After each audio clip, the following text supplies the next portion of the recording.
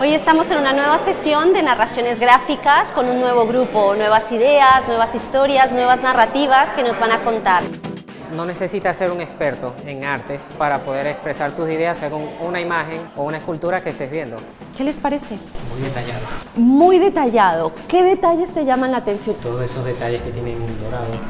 Me gustó mucho la parte de cómo van llevando toda la evolución de la mujer a, través de, la pintura. Creo que es una muy buena iniciativa de acercarse a la población y de abrir pues, cultura a población que a lo mejor no tiene oportunidad de acceder a este tipo de espacios.